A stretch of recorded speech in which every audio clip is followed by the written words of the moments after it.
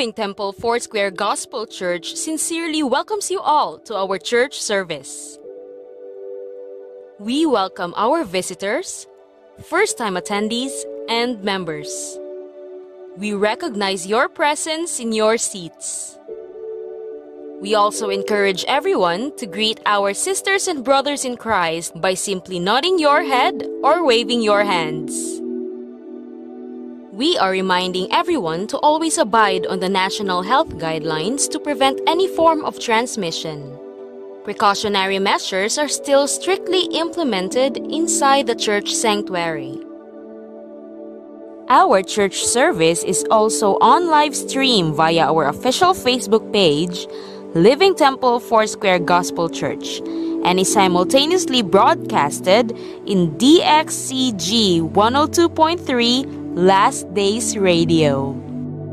As we are going to start our church service today, let us prepare ourselves to worship God in spirit and in truth, enjoy His presence, and embrace His message delivered by His mouthpiece. Let us open our hearts to receive God's overflowing grace and blessings for us today.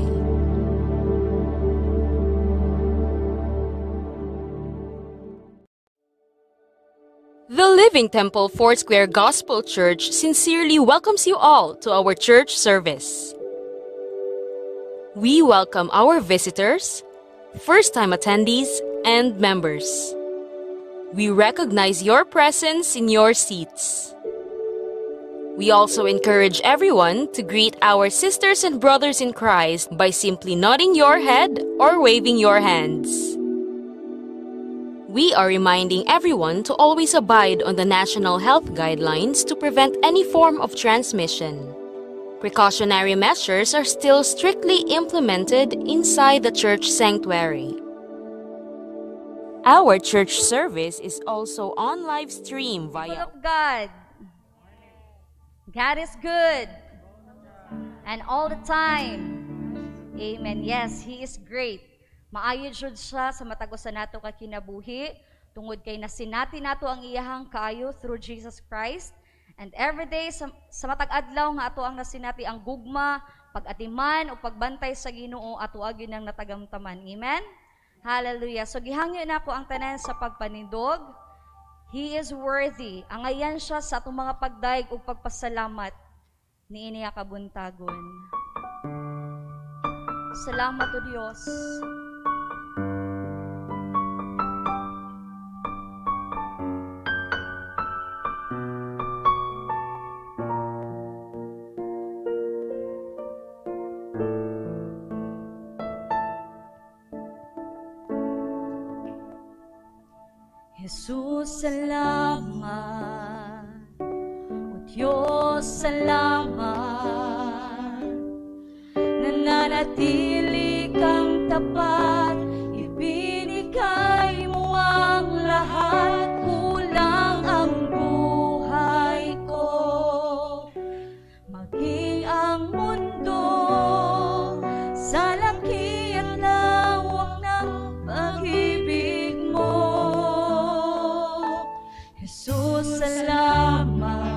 Salamat. O Diyos,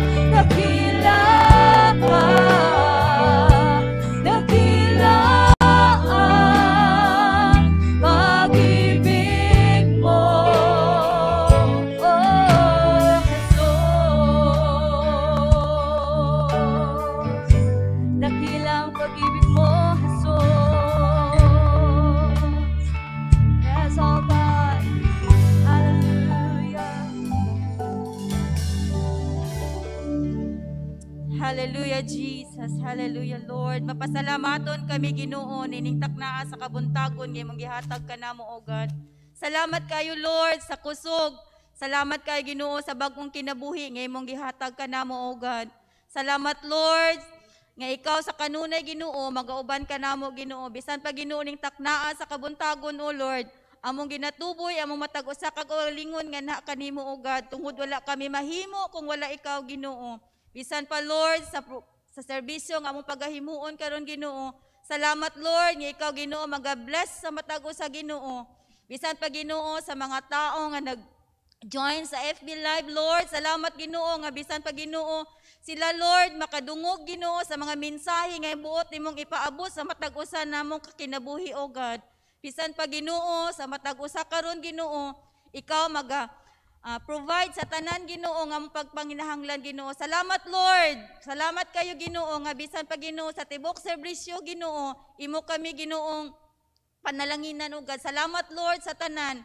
Bisan pa Ginoo sa mensahe nga maga hatag karong kabuntagon o God. Salamat Lord nga ang anointing Ginoo sa kanunay o God anaa kaniya Ginoo. Salamat Lord bisan pa sa praise and worship o God. Salamat Lord nga ang makadungog bisan pa Ginoo sa ah, sa radio, sa FB Live, Lord, ma-bless sila ginoo, mapanalangina na matag usa sa kinabuhi, o God. Salamat, Lord, among ginatugyan ang tanang serbisyo sa ngalan ni Ginoong Hesus. Amen.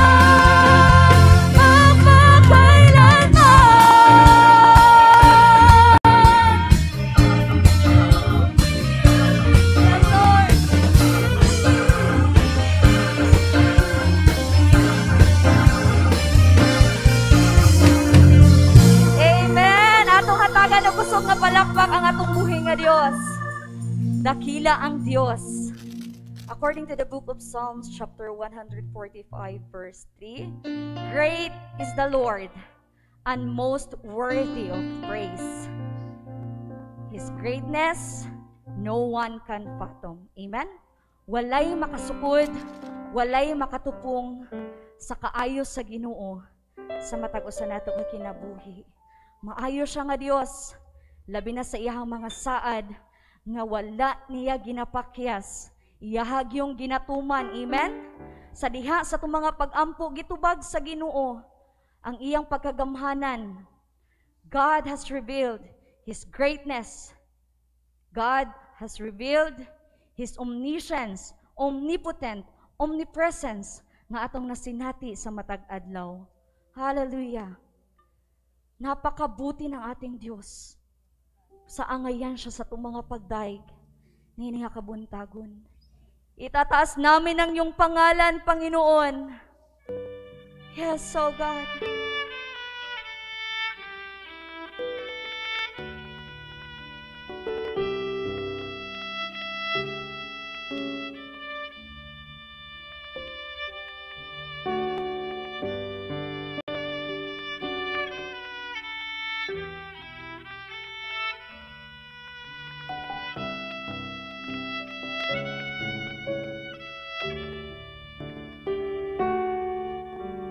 Sadyang kay buti ng ating Panginoon.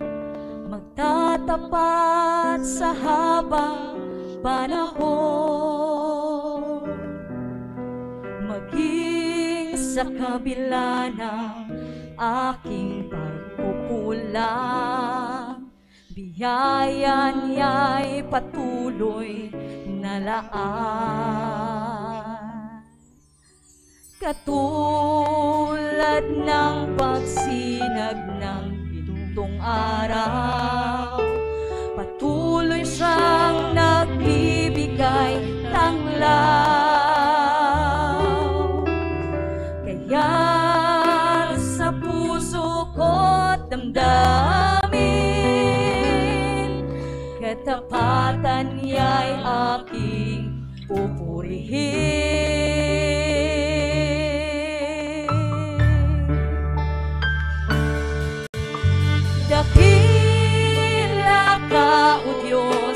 tapat ka ng tunay. Magmula pa sa ugat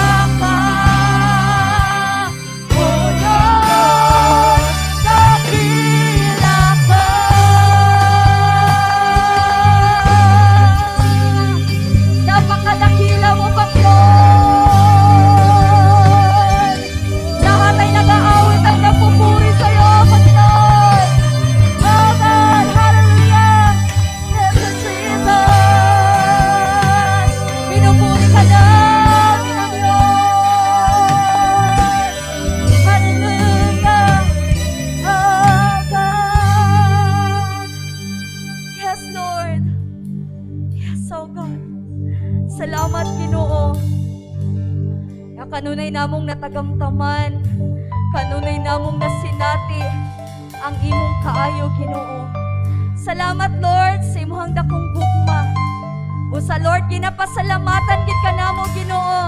Gigamit namo ang among kusog, gigamit namo ang among mga ngabil sa pag-awit o pagdaig kanimo. Tungod kay takos ka nga halaran. Takos ka sa mga pagpasidungog o pagpasalamat o Dios. O salamat Lord. Lagi kalipay o gidawat nimo ang among mga pagdaig. Lord, dili gid namo undangon ang sama ni ini nga buluhaton para kanimo. Ug salamat Lord sa imong presensya nga nagatagbaw ka nato. Say amen to the Lord. Amen. Hallelujah. Yes, Lord. Hallelujah. Thank you so much, oh God. Pwede na tamuling ko uban ang presensya sa tungbuhi nga Dios.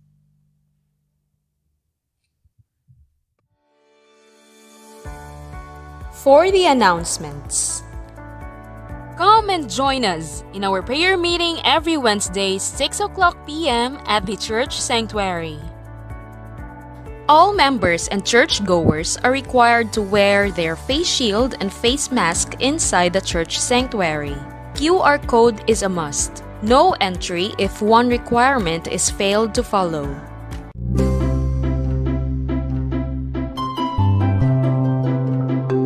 Good morning, boys and girls. Good morning to you all.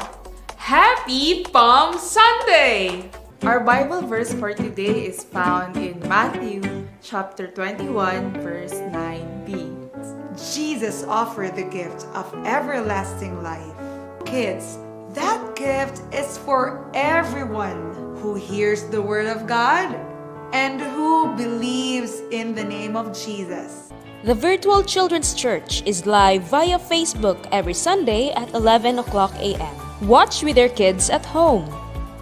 The young members are reminded of their contribution.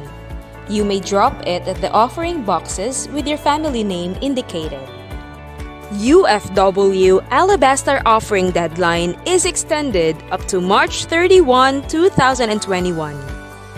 There will be no prayer meeting on Wednesday, March 31, 2021. Service will resume on April 7, 2021.